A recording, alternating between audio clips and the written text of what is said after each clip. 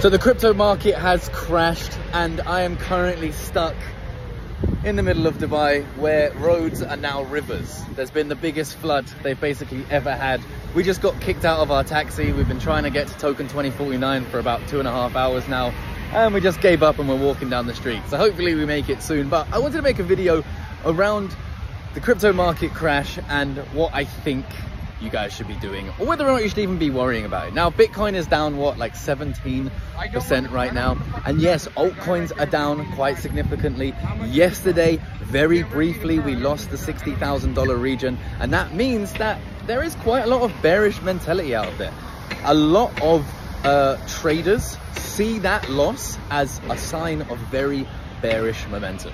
And yes, if you are a short-term trader, right now, we may actually see more bearish action. But all I can say to you guys is what I feel in this market and what I'm thinking. I've been in the market since 2017. I was in my first bull market in that 2017 one, and these sorts of moves scared the life out of me. I couldn't sleep. I literally woke up every couple of hours, even if there was good stuff happening, I wake up every couple of hours, I was checking my portfolio, and it was very worrying, right? Now, we drop 17% and I sleep like a baby. It's all part of it.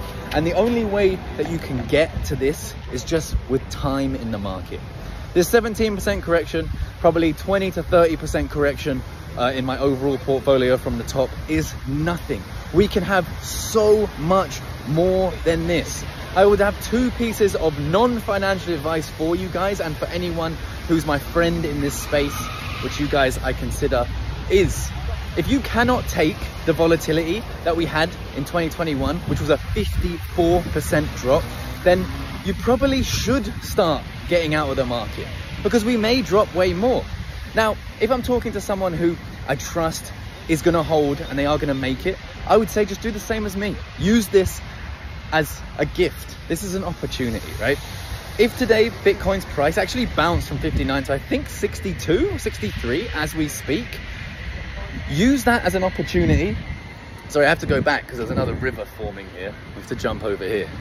But use this as an opportunity, right? The market may not give you another opportunity. And yes, maybe today Bitcoin is 63,000. Maybe that is the bottom here and we bounce from there. Or maybe tomorrow it's 53,000.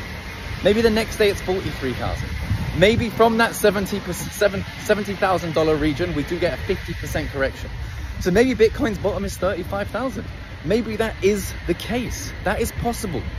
And when that happens, buy the goddamn dip and think of it as the opportunity that it is. That's the best advice that I can give myself and to anyone who's watching who is doing the following steps. They're investing with money they can afford to lose. And they can stand time in the market, right? When I was in my first bull run in 2017, the market went so high. I couldn't believe the amount of money that I was seeing in my portfolio. I never sold a penny, nothing at all. And then the price went down. So I made a mistake there. I didn't take any profits. That's why I always take profits now and I always preach about taking profits now. But irrespective of taking profits, what did I do next? I just held. I believed in the conviction that I had. I believed in the research that I had, and I just held. That bear market was horrible. I went lower than my initial investment, and then I bought more. There was just one day I remember where I was sitting, sitting on a bench, and I saw Cardano, and I was like, oh, do you know what? Fuck it. I'll just buy more Cardano. I'm here now. I'm in the pit. I'm gonna hold anyway, so let me add to it. And you know, I bought way, way more Cardano than I had before, and then I just held it again. Look at this river. Look at that. This is in Dubai guys. This is actual Dubai. Absolutely wild. But I bought more and I just held. And I didn't know what was going to come next. And what came next was a 2021 bull run. Then we had another crash. We went into the bear market and I bought more. And now we are in the 20, what we're in 2024 bull run, right? Now we can only either hold, buy the dip, or panic sell. One of those options is the right thing to do and I'm afraid I cannot tell you which one's the right thing to do, but I can tell you what I'm doing. I'm holding and I'm buying more. So I think that the current market volatility downwards is an opportunity. If you're a short-term trader, expect us to have volatility and probably your longs are gonna get liquidated or you're gonna get stopped out, probably. But Fast forward from now to six months from now, I would say Bitcoin is, in my opinion, more likely to be above 100K than below where we sit today.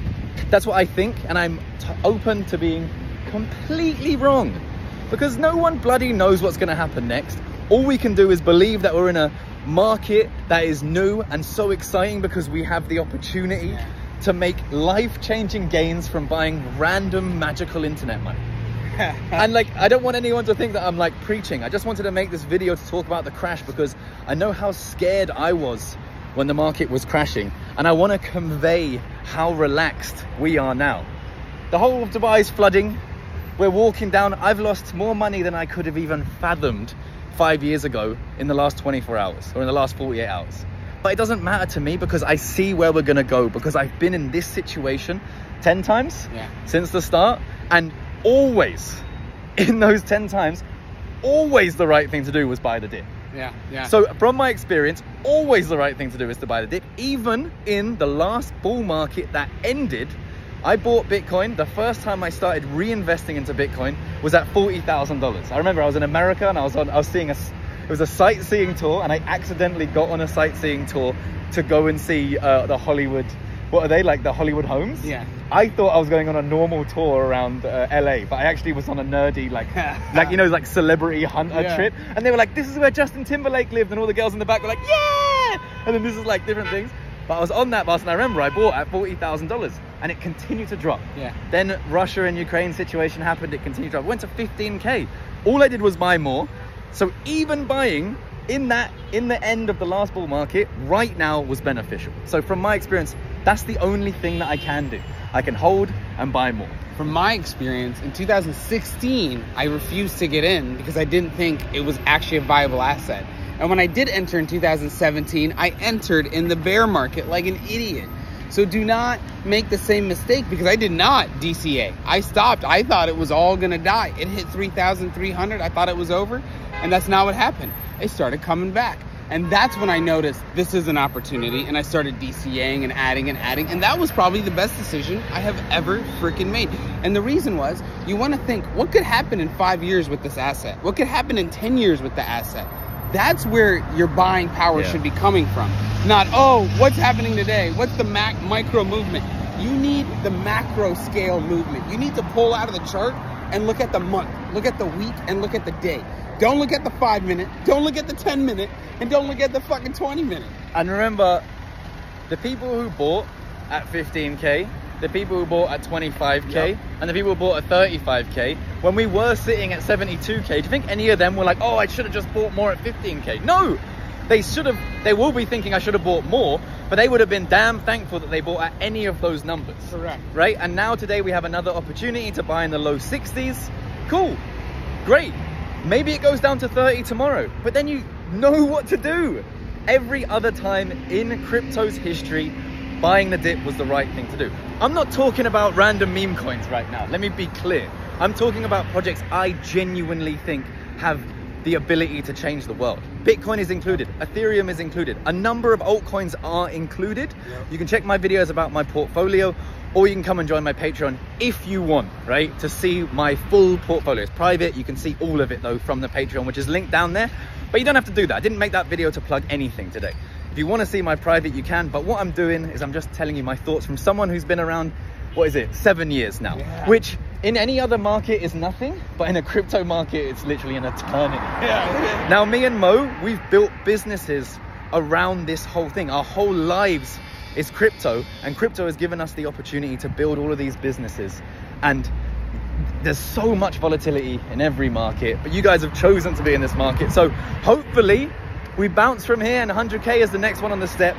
And hopefully we're gonna make it to this conference because oh i didn't really want to walk today it's but been hell. we're getting our steps in. Thank you guys for stopping by. If you have any questions for mo we actually run a company called smb which is here. Strategize my business this is one of the ventures that we've decided to do in this bull market we want to find both companies that want uh, or people that want to sell their companies and then people who want to buy them. For example, I'm a buyer of companies because I want to diversify my portfolio.